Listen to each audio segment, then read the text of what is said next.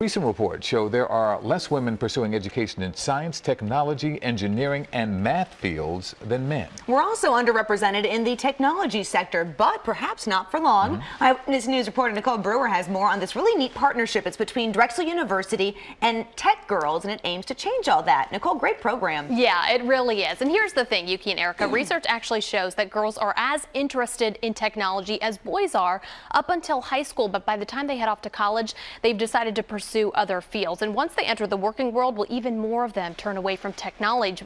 technology. But as you two mentioned, two local groups are taking steps to reverse that trend. At Drexel University, this may look like your typical computer class, but cut a little closer and you'll see these girls are gaming, test launching a game design curriculum for schools and students nationwide. Our hope is, is that we have more and more young girls and young women and women uh, getting interested in going into the tech industry, in my case, especially the game industry. That's why digital media professor Dr. Frank Lee teamed up with Tech Girls, a program that gives middle and high school age students hands-on experience with technology. It's gaming, programming, using robotics, and so many other pieces of technology that are happening today. It's an important part of future careers and the economy.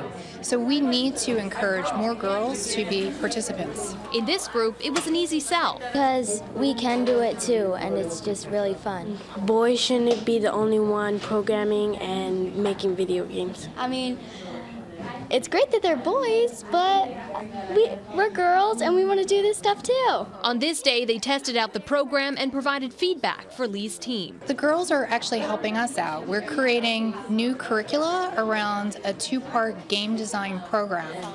And what we were trying to do is just see if what we've put together actually works and if there's any bugs. From there, the materials will be made available online, so girls across the country will have the opportunity to learn game design design principles, how to code, and most importantly, that they can do it.